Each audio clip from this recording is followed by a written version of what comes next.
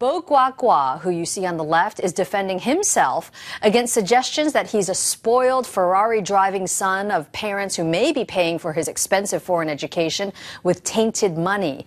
His comments come in the wake of a corruption controversy that has torpedoed his father's career.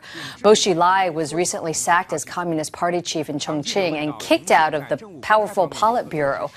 But the scandal is even more sinister. It also involves the mysterious death of a British businessman, Neil Heywood from last November. Initially, police said he died of alcohol poisoning. Now they've charged Gu Kailai in his murder. Gu is the wife of Bo Xilai and also Bo Guagua's mother.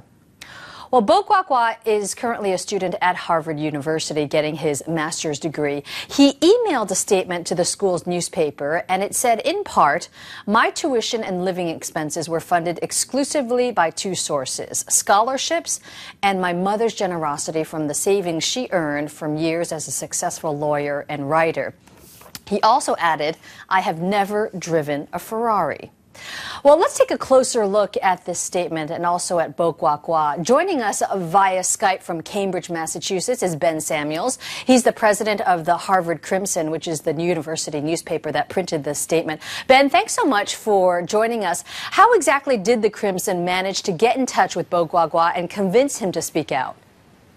So it's actually interesting. About two weeks ago, one of our writers uh, sent an email to Bo Guagua, his um, official Harvard Kennedy School email account. Um, and for about two weeks, he didn't answer.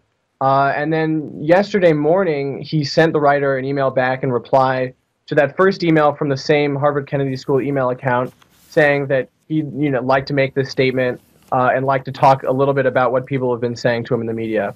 So we went back and forth a bit with him. Uh, and then, uh, you know, after he developed the statement, we ran it. Okay, so you finally heard from him. There are reports that he's actually moved out of his apartment in Cambridge and hasn't been seen since. Do you know if he's still in the Boston area, if he's still a student there at Harvard?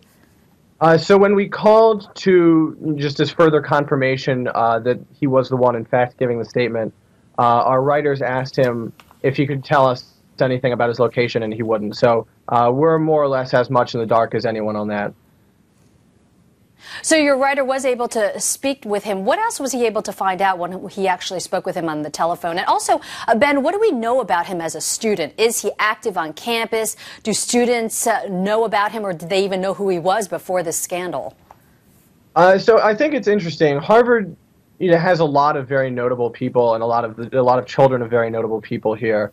Uh, so it's very easy to get by being someone famous or related to someone famous without um, anyone ever really knowing that.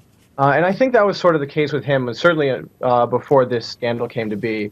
Uh, I don't think, and granted, there's a disconnect between the college and the Kennedy School, um, but certainly there was no, he, he wasn't really in any way well known at the college until all of this erupted.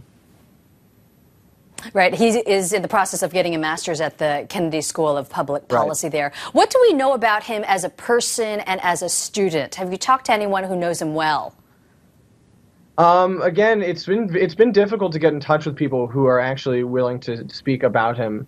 Um, we know, uh, you know, obviously we've heard the rumors and reported on the rumors that uh, everyone else has been talking about, but um, by all accounts, he was, you know, he fit in pretty well as a Harvard Kennedy School student, um, and there wasn't anything particularly extraordinary one way or the other.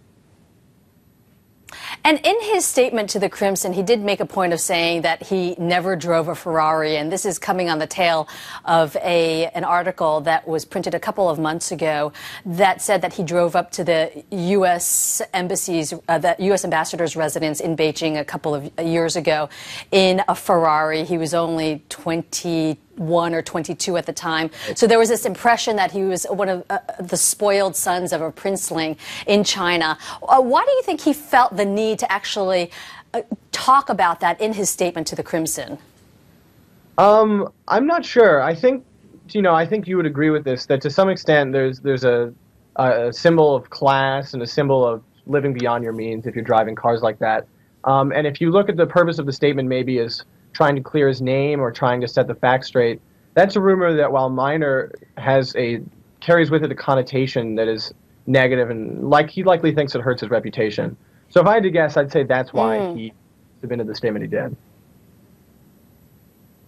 And there's so much interest about this story. There are so many tentacles to it here in Asia, and we're starting to see it there on the campus at Harvard. I understand that traffic is up on the Crimson website. By how much, and, and how much of this is actually coming from outside of the U.S.? Um, so I don't have the outside of the U.S. figures in front of me right now, but I can tell you that in the last two days, um, about 30 or 35 percent of our web traffic is coming from China. Um, in an average day, we, you know, we're uh, in the last two days we've gotten about 230,000 page views, of which about 110,000 have been to this one story alone. So it's been very, very significant traffic for our website.